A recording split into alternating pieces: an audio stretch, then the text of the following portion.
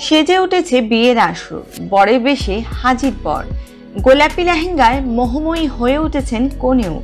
আমন্ত্রিতরা অধীর আগ্রহে সাত পাকে বাধা পড়ার সাক্ষী হওয়ার অপেক্ষায়।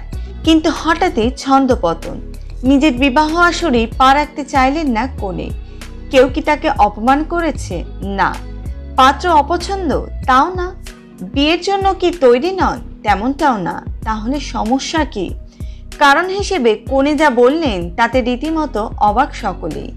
কি এমন ঘটল যে বিয়ের আসরের দোরগোড়া এসেই বেঁকে বসলেন পাত্রী শিবানী? সত্যি কথা বলতে কি, নিজের বিয়ে নিয়ে দারুণ এক্সাইটেড ছিলেন তিনি। নিজের বিয়ের প্রতিটা মুহূর্তকেই পারফেক্ট করে তুলতে চেয়েছিলেন তিনি। এক কথায়, নিখুঁত বিবাহ অনুষ্ঠানের স্বপ্ন ছিল তার দুচোখ জুড়ে।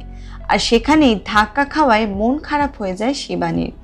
আসলে বিয়ের অনুষ্ঠানে পা রাখার সময় ঠিক কোন গানটি মিউজিক সিস্টেমে বেজে উঠবে তা আগে থেকে জানিয়ে রেখেছিলেন তিনি। কিন্তু কোণে সেখানে পৌঁছতে সেই গানটি বাজানো হয়নি। ব্যাস, গোসা হয়ে গেল কোণের সেই মুহূর্তেরই একটি ভিডিও আপাতত সোশ্যাল মিডিয়ায় ভাইরাল হয়ে গিয়েছে, যেখানে কোণের কীর্তি দেখে রীতিমতো চমকে গিয়েছেন নেটিজেনরা।